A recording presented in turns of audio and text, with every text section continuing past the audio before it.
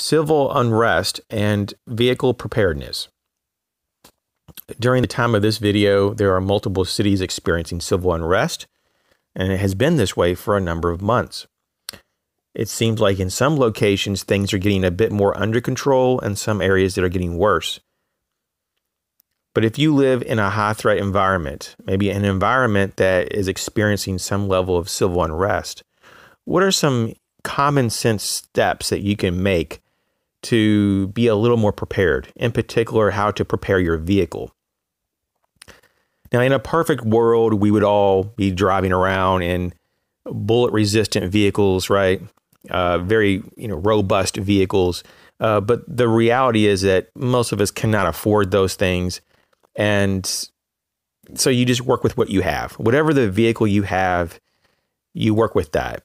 And I would look at first and foremost, has your vehicle been maintained properly over time? And if not, what is the the maintenance needs currently? You know, and you want to check the tires, uh, fluids, belts, hoses, um, in particular, when you're looking at the tires and if you need to replace them because of maybe tread or maybe they're, they're just dry rotting because they're old, you might want to consider run flat tires. So even when they're punctured, it takes a while before they run flat.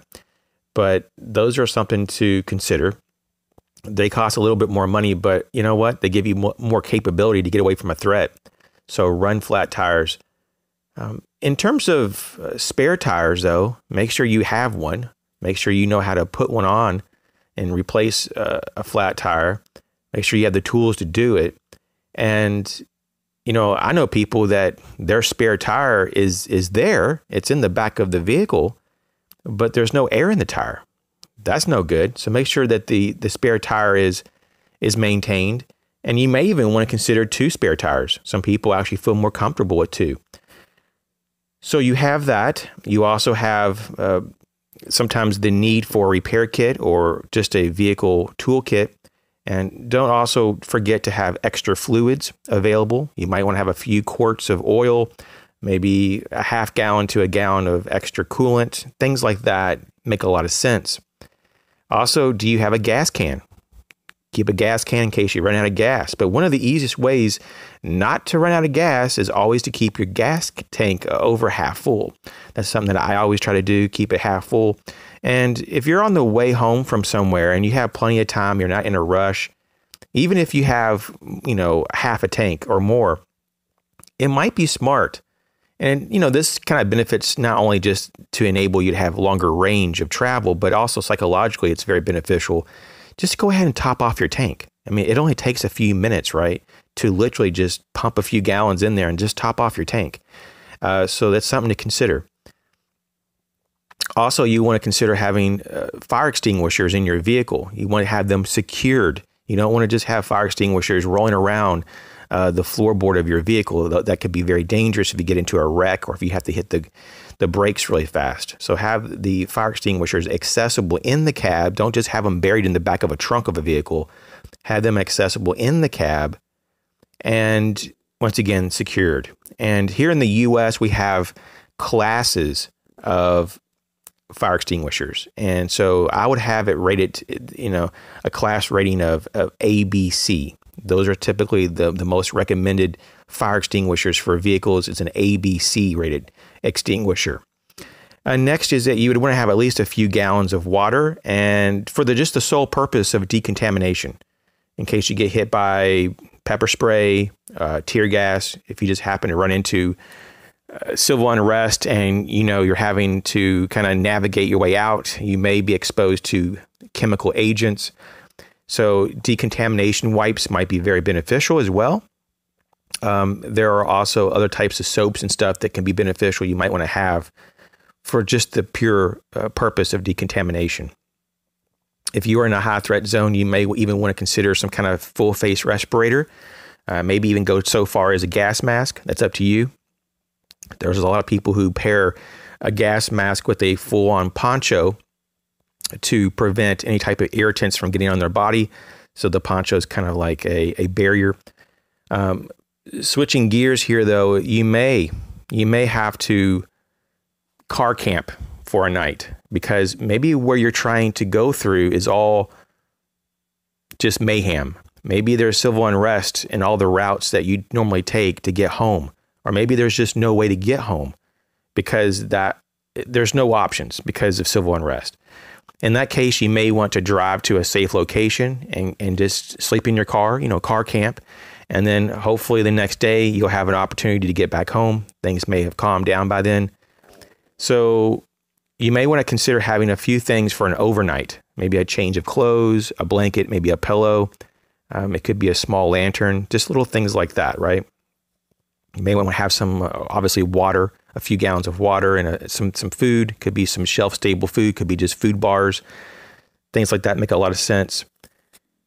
If you are driving in a known area that is known for unrest or just violence in, in recent days, you may want to, before you even get in your vehicle to, to travel through that area, to put on some type of ballistic protection. Now, if you have body armor, that's awesome. A lot of people do not have body armor.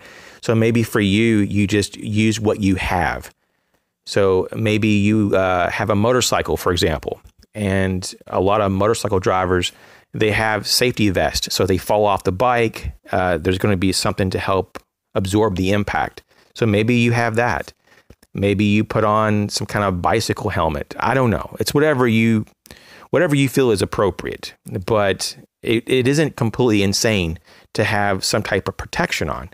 I mean, there are many cases of people just pulling up to a stop sign or to a, you know, a traffic light and they're waiting for a green light and a group of people come up on them with guns and shoot them.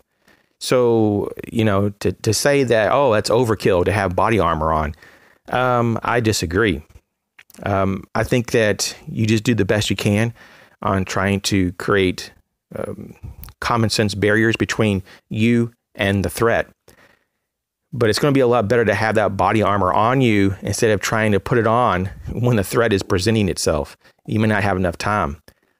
Uh, next is to have medical medical options. A, a, real trauma kit that's dedicated just for the vehicle and that it's very accessible is a must. Um, and of course, you can have general first aid items as well outside of the trauma kit supplies but definitely have a real trauma kit, and that includes things like uh, hemostats, uh, tourniquets, all kinds of bandages, uh, trauma shears. There's a whole list of things you can get that are going to be very beneficial. That could save your life. Um, also, in the vehicle, you may want to have some type of backup power supply, and this could be a, a battery bank of some type, or it could just be um, you know, a power bank that's portable, that's in a backpack, or uh, a portable solar power, um, you know, panel. There's all those kind of things could be something to consider, especially if you may have to car camp because maybe you can't get home because of civil unrest. Also consider self-defense tools. It could be something as simple as a baseball bat that you can get at a thrift store for just a couple bucks. It could be something more extensive. Uh, just always follow your local laws uh, and be proficient in whatever you choose, and to have it close at hand if you're driving. Also, something to have close at hand, especially at night, is a really good tactical light. And I'm talking about a high output light that you could use for self defense, but mainly to identify threats, especially if you come to a stop sign uh, or a stoplight, that you can uh, look on your peripheral uh, to identify if anyone's coming from each side. Uh, lastly, I would recommend a get home bag, a GHB, uh, full of essentials so that you can get home in one piece. And if you have to ditch your vehicle, it's probably a really bad situation. So you want to be as light on your feet as possible. You want to be able to jog if you need to with this bag. So you don't want it to be heavy. You don't want it to be bulky. You just want the bare essentials, really. Um, now, how to gauge how much stuff you should have in there, like in terms of food and water? Um, well, just kind of look at how the average distance that you travel from your home and figure out from there how long would it take for you to get home. And I would double it in terms of the provisions. So in case that you have to make detours or if you are injured, it may take twice as long to get back home. So for example, if it normally takes 24 hours to walk home from work and work is like the farthest that you typically, you know, travel on a regular basis, okay, you have 24 hours to get home but I would have at least 48 hours of provisions just in case uh, you have unknown variables that come up. So I hope this helps. You guys be careful, be safe. Uh, I really do hope and pray that things get better in the United States. Um, but until things do get better, be prepared and to prepare your vehicle.